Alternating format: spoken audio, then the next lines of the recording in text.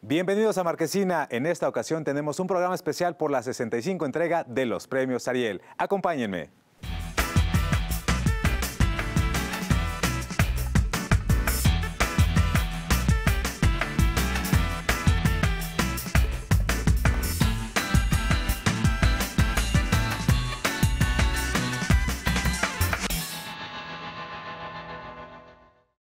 Me siento muy honrado de recibir en esta ocasión a mi querido amigo Jesús Chavarría en este programa especial de Marquesina rumbo al Ariel. ¿Cómo estás, Jesús? No, pues bien contento. Como siempre es un gusto caerle por acá a platicar con todos ustedes de lo que es la ceremonia más importante ¿no? de nuestra cinematografía, la entrega de los Ariel. Que por primera vez sale de la Ciudad de México. Jesús, sí, ¿cómo es? Que, que es algo pues que tiene muchos ahí muchas implicaciones, ¿no? Digo, la descentralización siempre es importante y este es un paso para ir hacia ella. Sin embargo, pues obviamente obedece a muchas otras cosas como siempre suele suceder, no solo al afán de, de llevarlo a interior de la República, ¿no? Porque se va de una gran ciudad a otra gran ciudad. Entonces, A Guadalajara, donde se están haciendo cosas espectaculares, como el cine que realizó en su momento el cineasta Juan Mora Catlet, que en esta ocasión Jesús recibe el Ariel de Oro. Los invito a ver de qué se trata esta entrevista. Juan Mora es director, guionista y productor. Además, ha sido reconocido por la Asociación Internacional de Escuelas de Cine y Televisión por su excelencia como docente y fue el primero en retratar en una película de ficción el mundo indígena. Este año, los miembros de la Academia Mexicana de Artes y Ciencias Cinematográficas reconocen sus destacadas aportaciones a la cinematografía nacional y por eso le otorgan el Ariel de Oro.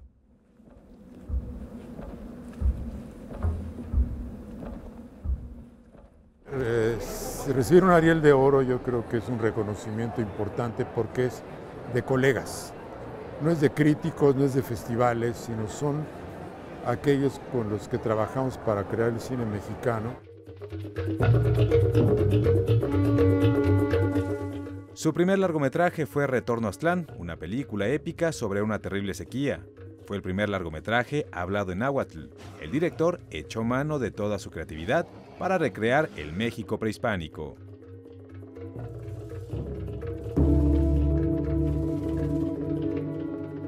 Pues ya tiene más de 20 años y la película sigue siendo vista. Quizá no en las salas, pero constantemente la piden para festivales, para escuelas, para universidades. O sea, la película no ha, no ha, no ha, no ha envejecido. En 2006 se estrenó Erendira Ikikunari. Fue su segundo largometraje, que narra la historia de una princesa purépecha que se convierte en la líder de su ejército para combatir a la invasión española. Em-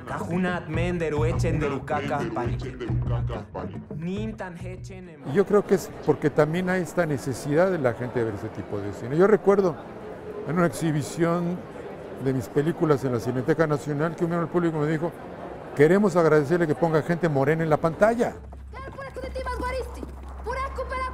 Ahora trabaja en su siguiente película, un documental filmado en Teotihuacán sobre los recientes descubrimientos realizados en esta zona arqueológica.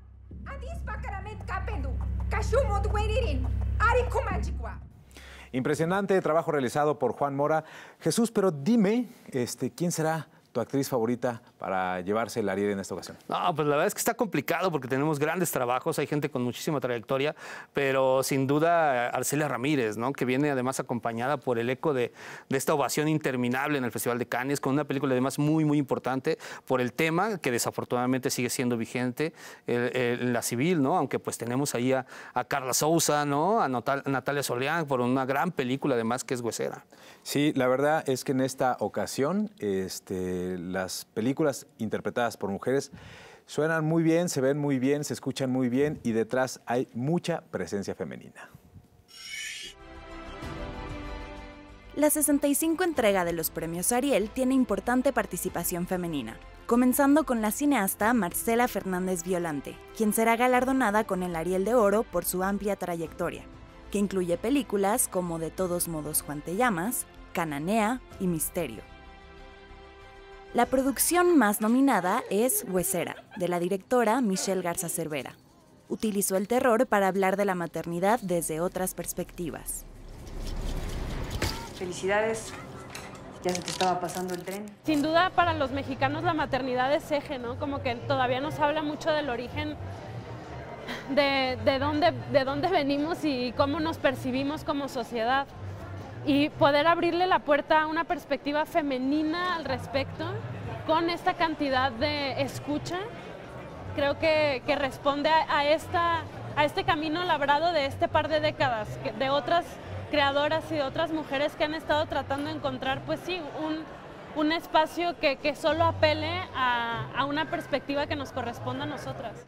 Por supuesto que la experiencia de una directora es muy distinta a la experiencia en el mundo de un director y no tiene nada de malo, lo que pasa es que son diferentes formas de observar, ¿no? de observar a un personaje femenino, por ejemplo, como lo que mencionas, claro que es distinto observarlo desde, desde, desde la piel que habitas, ¿no? casi. Entonces, eh, me, me, emociona ver que el, que el, cine pueda ser cada vez más eh, diverso en las ventanas que abre de experiencias en el mundo. ¿no?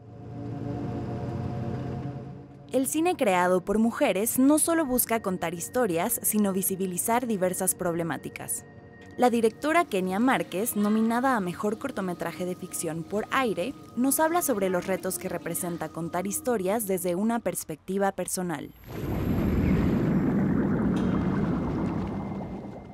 Y regresar al cortometraje fue para mí un reto en todos los sentidos, no solo en el contar la historia y construir una historia tan complicada como es Aire porque habla de abuso a menores y que es muy cercana también a mí y a lo que, a lo que por un momento me lastimó en mi vida. Uno de los mejores cazadores de Nuevo León y de México y del mundo entero. Entre las producciones que destacan este año se encuentra El Norte sobre el Vacío, de la directora Alejandra Márquez Abella, que frente a la pantalla y detrás de cámaras cuenta con talentosas profesionales de la industria. ¿no? Está quemando mi entorno el falla. Es que si para mañana no nos da tanta lana. O sea, yo, yo no armé este crew pensando en hacer un statement político. Yo armé este crew porque necesitaba gente pensante y creativa y así se armó, ¿no? Que quiero decir que es una consecuencia de el paisaje de profesionales que tenemos, no no de una postura política, aunque respeto muchísimo cuando esas posturas existen. Creo que Alejandra hace una apuesta muy peculiar porque mezcla también otros cuentos que son la visión masculina del héroe, ¿no? La, esa visión tan patriarcal, cómo se mueven estos hilos, qué hay de, de fondo, cómo repercute el dolor y esta violencia en las familias cuando pasa por el filtro ese filtro de yo puedo, yo tengo, yo debo.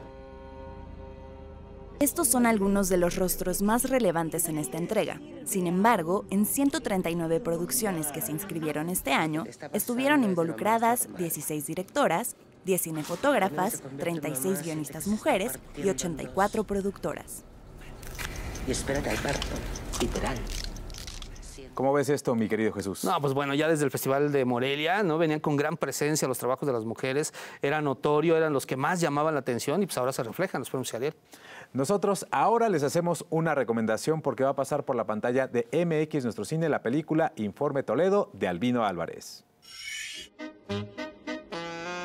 Claro, he dicho yo que el texto me escogió porque la historia del mono que aprende soy yo. I think he's a remarkable artist, really important artist. Bueno, la exposición yo recuerdo que fue una colaboración con la Whitechapel eh, de Londres. Mira la soltura ya de, de trazo de él, ¿no?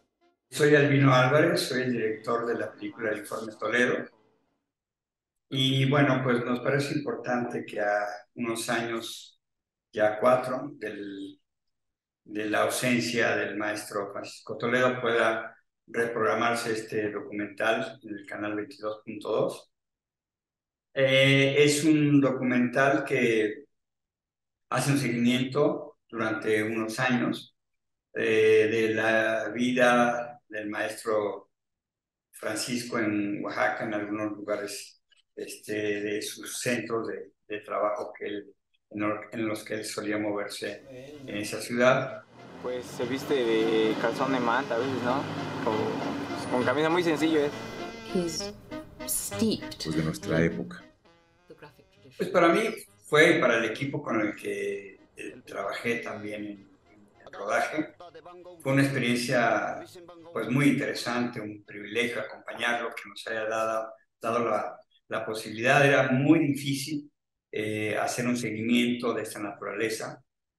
se había intentado por muchos lados y tuvimos eso, el, el honor, el privilegio de que nos diera, nos abriera sus puertas eh, de sus centros de trabajo y sobre todo de su privacidad, de su intimidad, de conocer qué piensa ¿no? ese hombre detrás de cada obra. Y me encanta que haya una conmemoración de su trabajo y de su vida a estos cuatro años porque la herencia de Francisco el Legado Oaxaca con tanta efervescencia cultural, con tantos jóvenes produciendo arte en distintos ámbitos, también la filantropía, el altruismo, la incidencia en la vida pública y social de las comunidades en Oaxaca, sin duda tiene como referente a Francisco. Es un hombre que marca un antes y después, no me cabe la menor duda, en el arte oaxaqueño, en la vinculación y compromiso social que no lo encuentro en nadie. Siempre ya deje de hacer esas cosas, póngase a trabajar, usted es pintor, usted no es político. Creo que soy más un dibujante o un artista gráfico, creo que más que pintor, creo.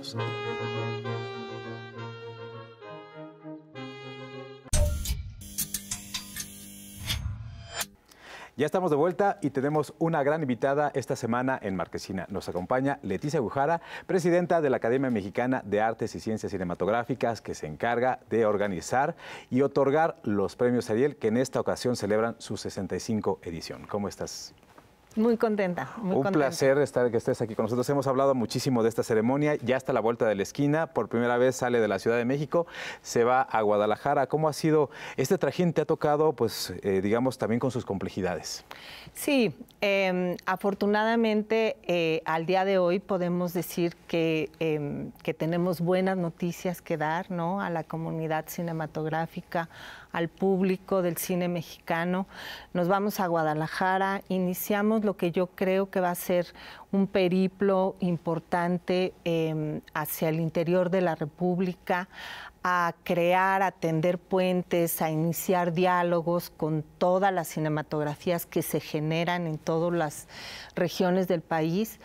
Eh, que creo que además es parte importante también de la labor de la academia. Entonces, eh, pues nada, ha sido difícil, pero al día de hoy es muy satisfactorio saber que vamos a tener una ceremonia linda, digna, alegre y que vamos a seguir premiando a la excelencia del cine mexicano. Así es, digamos, en la Ciudad de México tenemos teatros extraordinarios, pero bueno, otros estados de la República no se quedan atrás y en esta ocasión también Guadalajara tiene un escenario espléndido para esta ceremonia. El Teatro de Gollado, así es. Así es, ¿no? Está increíble, ¿no? ¿Cómo los han recibido también en esta ciudad? Pues fíjate que muy bien, eh, ha sido un trabajo de colaboración muy intenso.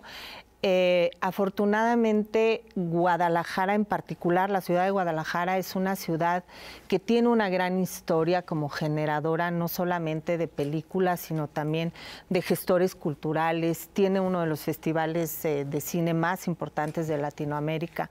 Entonces, creo que ha sido muy sencillo eh, crear estos lazos con la comunidad de allá con la que nos está tocando trabajar para llevar a cabo esta ceremonia. Trabajas muy de cerca justo con la comunidad, muy diversa, muy ecléctica, con muchas opiniones. ¿Cómo han recibido también esta noticia de mudar la ceremonia a otro estado? Pues en general yo, yo te diría que de las opiniones que yo he tenido, el 100% está contento de que lo hagamos. Eh, tiene sus complejidades. Eh, claramente, em, pues nuestra comunidad vive más en la Ciudad de México. Eh, y entonces ahora tener que viajar, tener que abrir un espacio para ir a la ceremonia, seguramente es un poquito complicado, pero fuera de eso creo eh, que todo el mundo está celebrando precisamente la posibilidad de descentralización incluso de la ceremonia del Ariel. Así es, ¿qué nos puede esperar para esta ceremonia? Evidentemente ya sabemos que se van a entregar los reconocimientos, los Arieles de Oro que ya se anunciaron también, pero en la parte como del espectáculo que también es esto, esta ceremonia, ¿ahí qué, va- qué- con qué nos van a sorprender? Pues tenemos tres números musicales lindísimos. eh, los tres, eh, vamos, el, opening y, el cierre son homenajes a Jalisco y a sus cineastas. En el intermedio está Eli Guerra haciendo nuestro In Memoriam, que es eh, algo que para nosotros es muy importante, honrar a, los cineastas que se van. Eh, tenemos, eh, los números musicales van a ser este, muy alegres, muy hermosos. No les quiero adelantar nada porque queremos que sea sorpresa. Espero que los lo, lo disfruten mucho. Se va a transmitir en directo justamente por Canal 22, que ha sido un aliado muy importante para la academia, para la transmisión de, de- de las ceremonias. eh, y se va a estar retransmitiendo también eh, por medio de todas las repetidoras de, de la televisión en el interior de la República. Evidentemente uno de los temas eh, más complejos de realizar una ceremonia en cualquier parte de la República Mexicana es el presupuesto. En ese sentido, ¿cómo han ido caminando, no? De la mano también de las autoridades de Jalisco? Pues eh, eso, ajustándolo día tras día, ¿sabes? Este, eh, dándole importancia a lo que debe de tenerlo, que es el cómo se van a ver nuestras películas.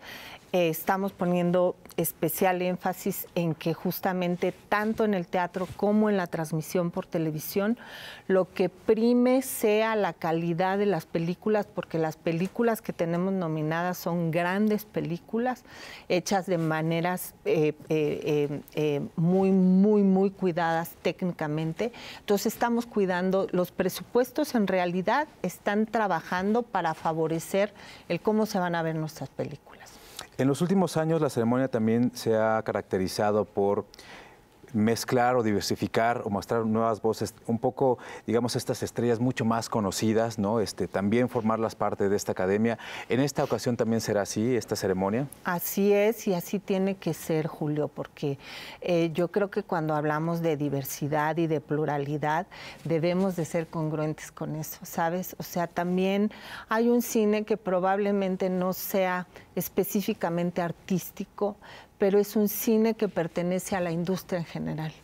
Y creo em, que todos conformamos lo que le llamamos comunidad cinematográfica y en mi gestión eh, sí ha sido, digamos, un objetivo no separar eh, ni, ni- ni, em, decidir cuál es el buen cine o cuál es el cine que sí vale o cuál es el cine que no. Eh, creo que por ahí parte también una- un, un trabajo importante de la academia. Ser academia es escuchar a todas las voces y todas las voces probablemente algunas de esas no son las que más nos gustan, pero pertenecen a nuestra comunidad también. Pues a mí me parece extraordinario. Ya estamos haciendo las maletas y ya mandamos a la tintorería el smoking porque estamos listos para la gran fiesta del cine mexicano. La también. gran fiesta. Hay que verla así, desde esa, desde esa forma. ¿Cómo ves un poco también, ya para concluir, eh, pues el futuro de la academia este, a, a los próximos años? Eh, Pues lo veo muy promisorio. Eh, creo que justamente el poder abrir esta posibilidad de, de contar con el apoyo de diversos estados eh, y de poder eh, iniciar estos diálogos o, más bien afianzar estos diálogos con los cineastas de las distintas regiones del país donde se hace cine. eh, nos va a dar muchísima riqueza en ambos sentidos. Por un lado, la posibilidad de seguir manteniendo nuestra ceremonia, que es importantísima, pero también la posibilidad de ir sumando a todos estos actores cinematográficos que no habitan la Ciudad de México. Así es, Leticia, pues solo nos resta agradecerte muchísimo que hayas estado con nosotros aquí en Marquesina. Un placer como siempre. No, hombre, muchísimas gracias. Gracias por el espacio. Pues ahí lo tienen, no se pierdan la ceremonia de los premios Ariel aquí por Canal 22. Mientras tanto, nosotros regresamos en un momento. Ya estamos de vuelta, ya está Jesús de vuelta y ahora vamos a hablar de un tema muy interesante que es la exhibición y distribución de cine mexicano, Jesús. Sí, que obviamente sigue siendo un aspecto eh, que no termina de funcionar de todo en beneficio de lo que es el cine mexicano. Sin embargo, ahora se están apoyando muy bien con las plataformas digitales. Vemos películas que llegan ahí y llaman lo suficientemente, lo suficiente la atención del público como para que a pesar de que no están en cartelera comercial, se den la oportunidad de descubrirlas. ¿no? la verdad que sí. Y los nominados en esta edición dan su opinión sobre este tema. De cara a la 65 entrega de los premios Ariel, se reunieron los nominados para tomarse la tradicional fotografía. En este ambiente de celebración también permea un tema para todos relevante, la distribución y exhibición de cine mexicano. En 2023 son pocas las producciones nacionales que han tenido un estreno en pantallas de cine, pues era la película más nominada a los premios Ariel, es una de ellas. Tú sí me crees, ¿verdad? Se salió la araña, ¿ves? Esta es madre, pero también es depredadora.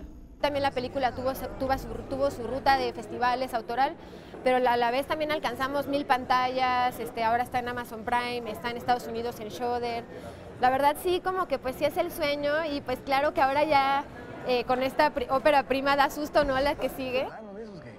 que, extorsionar, ¿no? Está quemando mi entorno el Es una realidad que no todas las producciones corren con la misma suerte. El filme El Norte sobre el Vacío tuvo su estreno directo en una plataforma digital. ¿Y usted qué le contestó? No, pues le dije, pues vas a necesitar un pinche machetón, cabrón. La gran decisión se toma a partir de del dinero, ¿no? de los dineros, un poco de, la, de las condiciones de la propia película, de las deudas que tenga la película, y ahí un poco pues no había como para dónde hacernos, ¿no? Fue una decisión que se tomó sola en ese sentido. Las plataformas resuelven de alguna manera la exhibición de cine mexicano, pero generan otros conflictos. No creo que el streaming sea el diablo, ¿no? Creo que el problema es es el sistema capitalista. Ese es el verdadero problema, porque el streaming es una herramienta increíble de difusión masiva, pero al mismo tiempo es una herramienta para las élites y los grupos dominantes que en el fondo quieren seguir repartiéndose el pastel solo para esas personas. ¿no? hay respuestas fáciles ni soluciones sencillas. Vienen modificaciones a la Ley General de Cinematografía, la huelga de escritores y actores en Hollywood sigue impactando en el mundo. Los exhibidores siguen tratando de recuperar el público después de la pandemia con grandes blockbusters. Y en medio de todo esto, hay filmes nacionales que no están llegando al público mexicano. La verdad es que en esta edición hay categorías muy competidas. Una de ellas es la de documental Jesús. Sí, como siempre, ¿no? ¿Y qué me dices de mejor película iberoamericana? Donde además ahora incluyen dos que están relacionadas con eh, dictaduras, ¿no? Una de ellas es Argentina, 1985, que ha hecho ruido por todos lados, que ha sido multigalardonada, ya está disponible ahí en plataformas digitales y que realmente merece ponerse la atención, ¿no? Así, la otra es 1976, que es sobre la dictadura chilena, que se enmarca en el 50 aniversario del golpe de Estado justamente en este país. Nosotros tuvimos la oportunidad de platicar con la directora y esto fue lo que nos dijo. Mi nombre es Manuela Martelli, eh, soy chilena y mi película se llama 1976. Es un Cristo muerto de hambre. No tengo quien más pedirle ayuda. ¿Qué quiere la gente? Son 10 años de cárcel. Es, está, está inspirada en una historia familiar, pero mm, pero de ahí despega hacia la ficción. Creo que la historia familiar es como un poco el corazón de la película, em, pero la, la, trama de la película es una historia de ficción. Es de revisar la historia personal, la historia familiar, ver cómo, cómo eso también es parte de esta otra historia, que era la historia que aparecía en, en los titulares de los diarios. La película se sitúa tres años después del golpe militar en Chile y gira en torno a una mujer de clase acomodada que sin planearlo poco a poco se adentra en la resistencia. Ni siquiera su familia sabe que se ha vuelto parte del movimiento. ¿Qué le parece? Le quedó igualito al libro. Empieza a pasar algo que es que cuando no vives eso, esos traumas históricos, a veces no, no entiendes por qué eh, la generación se comporta de una cierta manera, ¿no? Entonces me parecía importante ir a revisar eso y, y- y traerlo nuevamente a, a, eh, hacerlo visible, digamos. Personas que estuvieron en el circuito clandestino, que también es algo que no, no aparece mucho en la, en la literatura, digamos, en, el- en la teoría ni en la literatura. Son relatos que un poco sen- sentía yo que se iban a perder.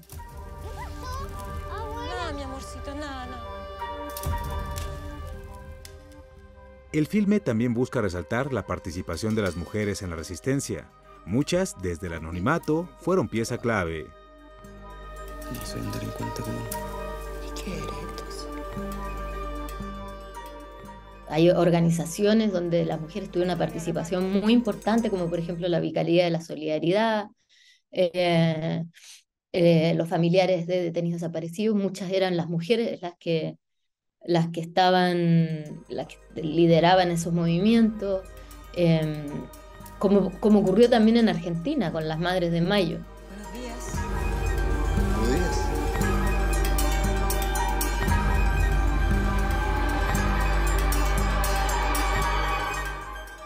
Usted hizo todo lo que tenía que hacer. Sin lugar a dudas, esta edición de los premios Ariel, la 65 entrega, va a dar muchas sorpresas, ¿no? ¿Cuál crees que sea la película que no se lleve nada o que tenga pocas posibilidades de triunfar? Eh, yo creo que, que por ahí podría ser El Norte sobre el Vacío, ¿no? Eh, comparada con las otras películas que están compitiendo, es quizás la que menos ruido ha hecho, a pesar de haber sido eh, hecho una presencia muy fuerte en el Festival de Cine de Morelia, ¿no? Así es, yo estoy de acuerdo contigo, ¿no? Pero ahora, ¿cuál crees que podría dar la sorpresa? Podría ser la de ruido, ¿no? Sobre todo por el tema, lo que hay alrededor de, de esta, eh, de, to- de todo este, esta situación que lamentablemente sigue estando vigente, eh, podría empujar lo suficiente para que de pronto se ponga por encima de las otras. Sí, yo me iría ahí en este caso por la civil, pero bueno, vamos a ver qué sucede. ¿Y cuál crees que sea la gran ganadora? Eh, ojalá, yo desearía que fuera Huesera, ¿no? Me llama muchísimo la atención que es una película de género, pero en la que además los lineamientos propios del mismo no están eh, con el afán solamente de hacerlos efectivos, sino los ponen al servicio de, un, de una disección de, de la maternidad, ¿no? De toda esta presión que hay alrededor de las mujeres a nivel social. En fin, o sea, hay un, hay, hay un afán mucho más grande que el simple hecho de asustar, ¿no? Entonces creo que eso le vale para estar ahí y ser la más nominada dentro de, la, de la ceremonia. Y es la que está más sonando en esta 65 de los premios. Muchísimas gracias por estar con nosotros. Al Jesús. contrario, amigo, siempre es un gusto, siempre es genial estar por aquí para hablar de lo que más, más nos que es el cine. Nosotros con eso nos despedimos, pero los invitamos a que no se pierdan la 65 entrega de los premios Ariel por Canal 22 en el 22.1. Los esperamos el próximo 9 de septiembre a las 7.30 de la noche. Yo soy Julio López, nos vemos la próxima.